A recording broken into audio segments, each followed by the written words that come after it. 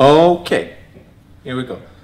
Uh, so, uh, if you can't judge from this slide and my shirt, then I work at Frantic as a senior developer. And today, I would like to talk to you about web components and, and uh, particularly how we sort of think around the technology. Like we have the technology, but how do we think around technology?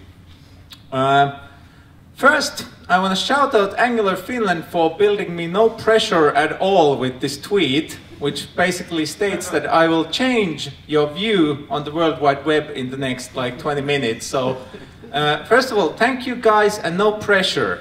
And to you I say, I will try very hard. Okay, so uh, two things today, technology and imagination. Um, so my question to you is, are we using our imagination? Because often we find ourselves in a situation where we definitely have some technology, like in this case web components, is like a kind of hot off the press of the web standards train. But have we sort of exhausted our imagination in sort of thinking about what we could do with this technology? Uh, Sorry, I have to look because my mirroring is not working, so we're gonna do it like this. So just a little recap of like web components and what has so far happened in the standard. And to start this, I want to show you an HTML element. Like we're gonna go all the way back. So this is an HTML element. It's a button. I'm a button. You've probably all seen this by now, or then you have some reading to do if not. Uh, okay, so what is web components? Web components is this uh, series of technologies. There's like four of them, but one of them is currently dying and is, as you can see it there, it's all gray because it doesn't have any oxygen and it's going away. So we have custom elements, uh, we have Shadow DOM, and we have HTML templates, and then HTML imports was really great, but Mozilla didn't want it, so it's dead. So goodbye. HTML imports. Uh, and in a somewhat interesting linguistic uh, twist, when you use web components, uh, of which one of the, the participating technologies is custom elements, you use the technologies and you end up with custom elements. So this is something that I really like about explaining this whole technologies, this like two-tiered naming thing. But yeah, web components is those three technologies of which one is custom elements and when you use them together you get custom elements. So now everything's clear. Uh, okay, so here's a custom element. Now we have a, now we made our own element. Now it's a cool button. As you can see now, it's cool. It's wearing sunglasses. It's amazing. Uh, okay, so what is Angular Elements? Uh, Angular Elements is, is really like, Angular Elements are uh, like, they are custom elements, but they are specifically made with like the Angular framework. So you can package your Angular app, like any Angular app, like to our custom element, and then it's called an Angular element. See, there's another linguistic thing. So it's an Angular element, but it's also a custom element. So you really get to pick and choose which one you want to use. Okay, so so far we have learned that we can make our own HTML elements and we can make HTML elements out of Angular apps using Angular elements. Uh, so, what can we do with this technology? Now, if you go and you go read like a guide or the Angular documentation page, uh, you get a lot of stuff like this. So uh, we can do custom buttons and we can do some text formatting and we can do pop-ups and models and widgets and, and all these kind of things. But um, when I'm reading these, I, I kind of can't escape the feeling that they're all basically just cool buttons. Like they don't seem significant or, or life-changing. And if I'm going to change your view of the World Wide Web, I need something better than like a, like a calendar widget on your web page. Right. Um, so, imagination, are we using it? I don't think so. Like, I think cool button is cool, but it's not using the full potential of what we can do. Uh, And to talk about using our imagination, we are gonna go back to the very complicated HTML element called button. Uh, the reason we go back is that I want us to, because I, I, presented to you and you were like, yeah, that's a button element. Why is it in this talk? So now I just want to very briefly talk about what the button element actually is. First of all, it has a definition. Like this is the stuff that presumably like smart people at W3C are writing. It's like the definition. Uh, I've slightly abridged the W3C definition of a button, but it comes out to something like button has text and you can click on it. Uh, now what else does a button element have to be useful? Well, it has an implementation. And if you ask the question, where is the code for the button element? Then the answer is like kind of like nowhere, but also everywhere, because like everything that handles HTML has some sort of it must have some sort of implementation of the button element. So I haven't personally done this, but I imagine the process is something akin to like engineer reach W3C spec, and then they're like, oh yeah, button element has text and you can click on it. And then they go and write it in like C++ or uh, Java or whatever for their like platform. And for whatever reason, this thing has worked reasonably well for 25 years. Like, it certainly doesn't sound like it should work, but it has. Uh, okay, so this is kind of the, the point why I'm showing you the, the button element. Because really, if we think about it, it has a definition and the implementations of which there are several and there will be more of those implementations and the old implementations have gone away. So really, the button element is an API for something because it's like it like the definition exists outside the implementation. This is kind of like why we like APIs because they hide complexity complexity and, and, and make us able to sort of like switch out our implementations and sort of be very flexible. Uh, well, I said it already. Who creates HTML elements?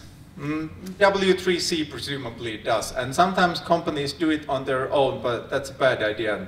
Never do that again. Thank you. Uh, at least, you know, without, without using the, the custom elements spec. Like in the past, it was a bad, idea. Uh, bad idea. Now it's a good idea. Uh, okay, so cool button, which is a custom element, uh, is very similar to the regular button element in that it has a definition and an implementation. And the cool button does what I want. I want it to be a cool button. So now it is. Like that's the definition part of the thing. So now I am W3C and I have all the power to make all the cool buttons I want. And I can implement it in any technology that can do custom elements, one of which is Angular, but really like you can do it with JavaScript, plain JavaScript and many, many, many, many other frameworks. Uh, and cool button is also an API, because I just defined it that it has some properties and then I implemented it in something, but if I don't like my implementation, I can adjust my implementation uh, without adjusting the definition, or I can do both. But the key thing is that they're separate from each other. They don't have like this sort of faithful connection. So uh, who creates custom elements? You do. Like I can do it, you can do it, like anyone can create a custom element. Like I'm like somewhat surprised that this wasn't like like a bigger headline because that hey, by the way, after 25 years, you can now create your own HTML elements. Like this, I don't recall seeing this headline anywhere, because to me it sounds cool if I say it like that. Uh, so, let's try again. Last time we tried this, we could do like cool buttons and widgets and pop-ups and things. Maybe with our uh, renewed imagination, we can now do more. Maybe. Okay, so let's try. Let's try to connect things. Uh, what do I want to connect? Uh, I want to connect an existing corporate platform to an Angular application. Has anyone ever done this? I bet someone has. yeah, I've, I've done it even in Angular JS, and uh, yeah, it's not always pretty. Uh, I would say most people would admit, at least privately, that usually there's a lot of what I would call glue, like between there. And uh, the glue does put the things together, but the problem is that it's very, very hard to separate them once you've glued them together and you didn't really create any like added value in the process. It's just like a one-time integration. Now, what if we put a custom element between our things? We say that, hey, uh, existing corporate platform, you know about HTML because you must, because everything that is talking to a user online knows about HTML. Or at least it's very, very hard to like not know about HTML and operate like a web service. So if we do this, then the thing is okay for the corporate platform because like, yeah, I know HTML, like I've been probably around most of the 25 years, so it's fine. And then Angular app is like, yep, Angular elements, I can become an HTML element, you can do this. Great. Uh, also, if it would happen that in the, the web development frameworks or tools would ever change, like this has never happened to me, but it could happen, you know, like there could be some new cool framework that replaces the old framework kind of thing, then we're fine because we made our definition in the element and now the underlying implementation is exchangeable. We actually have the API against which we can implement things. Like, like browser vendors have been doing this all the time with the button element. Like I doubt that there is like any production code in, well, there might be in Internet Explorer, but basically, you know, Google wasn't around when the button element was devised and they can still like code one, so it's probably fine.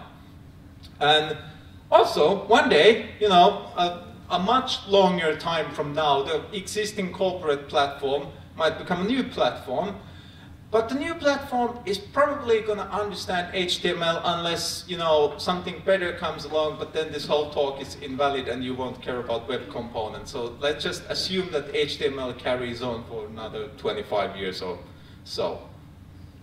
So we could do this, and now we have, instead of glue, we have like a reasonable API in our integration, and we can like focus on reasonable things and make sort of good decisions and good development time on all of our things.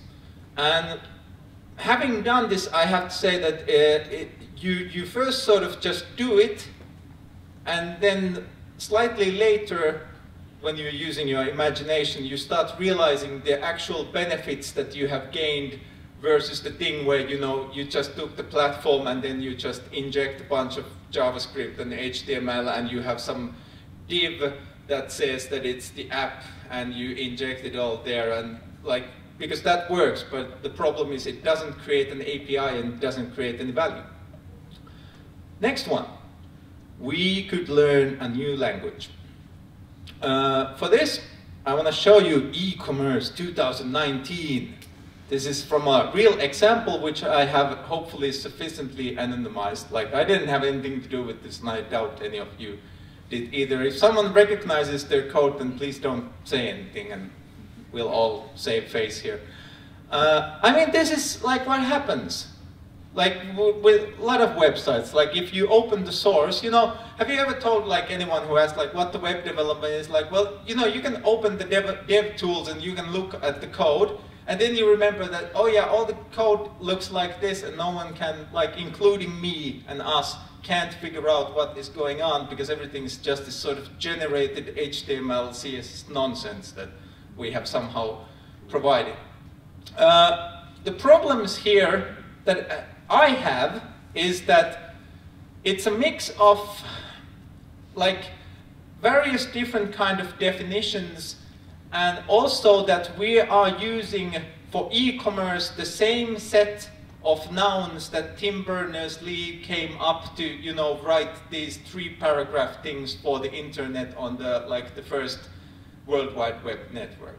And if I would formulate the question like, is it sensible to model e-commerce in a language that mostly speaks about paragraphs and headings and, and like, you know, like it's, it's about like top-down text formatting, then I think most people would say that, no, I don't want to model my, my you know, e-commerce in that language. And like if this was code, like I'm pretty sure you would return this pull request that no, I don't want to see this, this is awful, make it go away.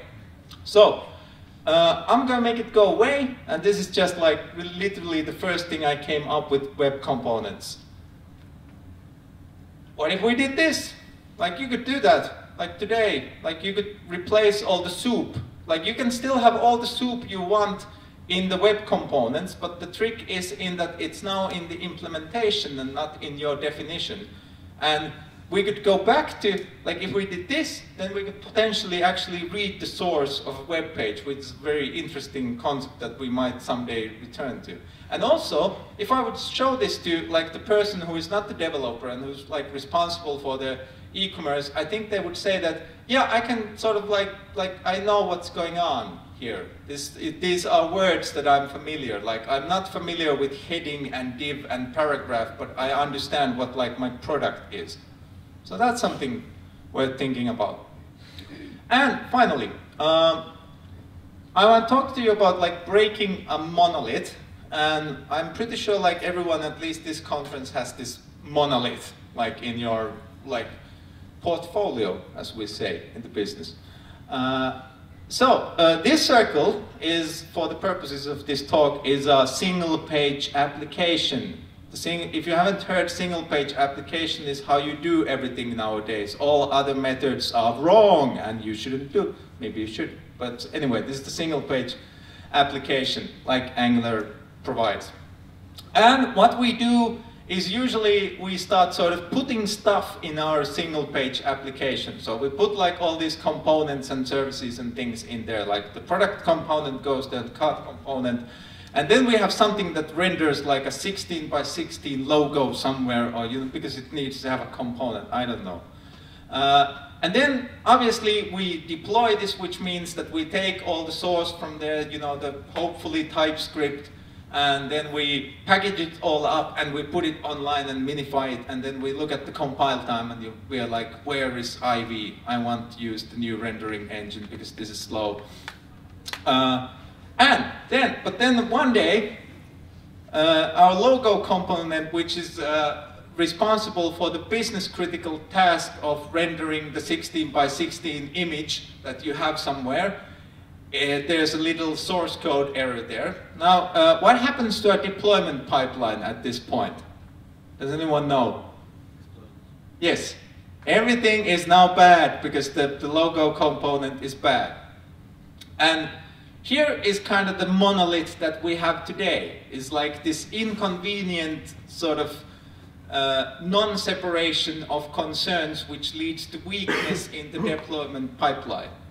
Now, is there something like, I, I'm pretty sure you're going to guess that I'm going to suggest something with web components for this, and you would be right.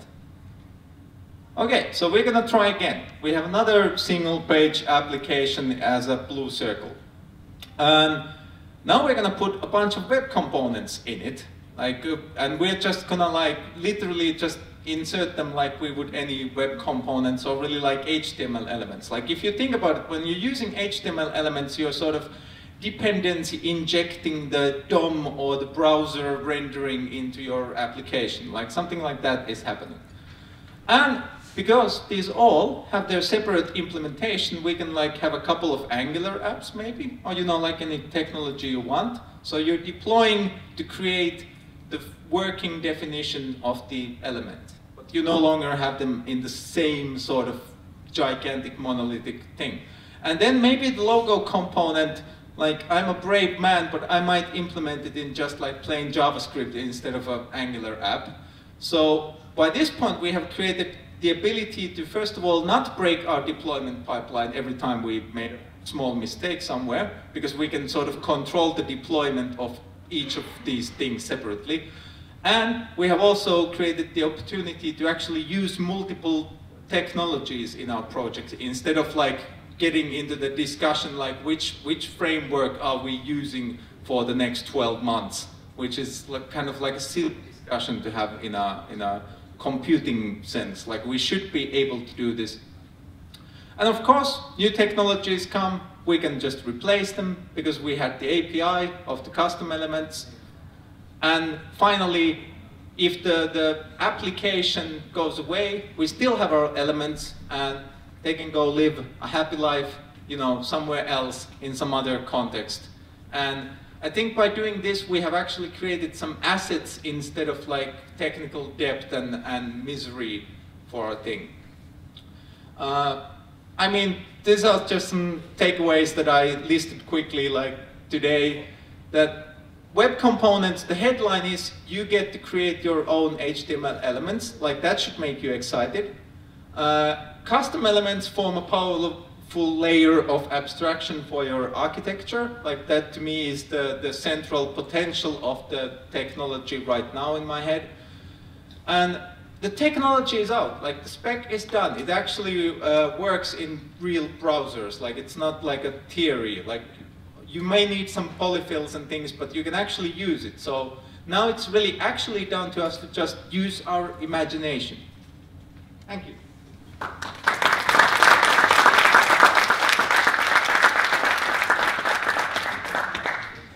Before you continue to one point. We have a question. Hi, thank you. Uh, I do have one question though. So uh, right now the benefit of that monolith approach that uh, you talked about before is you have a single page application and most of the code is written in one place with one technology and you can tree shake that and remove CSS code that is not necessary and remove extra code that is not used. So what happens, do you think, to that when uh, three teams uh, start de uh, de developing the same web page and two of them decide to, yeah, Lodash is a great idea, let's include Lodash in our bundle and there's like five megabytes of Lodash in each of the element implementations. So uh, how would you kind of fix that concern? Uh, I think it's a very good question. It's like, to me, this is like one of the, the, the, the, problems that, you know, literally just waiting will solve eventually. Because like we didn't originally, in Angular world, we didn't have tree shaking and things were slow. But like my, my, like, my way of tackling that concern is literally, you know, like if this is a problem, then like either invest in solving it or then just decide that, you know, time will solve it. Uh, and I think it's also like sort of, um, you can change your perspective in a way that of course you measure the, the whole application, the whole service, but really you're talking about like individual implementations. And I think it would be sort of interesting what would happen if instead of optimizing one application, you would have like several teams or people sort of optimizing their sort of approach to the individual element, which is like what I would go for here. And I like last time I saw a website, it was so full of like third-party JavaScript that I don't think like a couple of web components could even make a dent to it. So yes, this is a problem.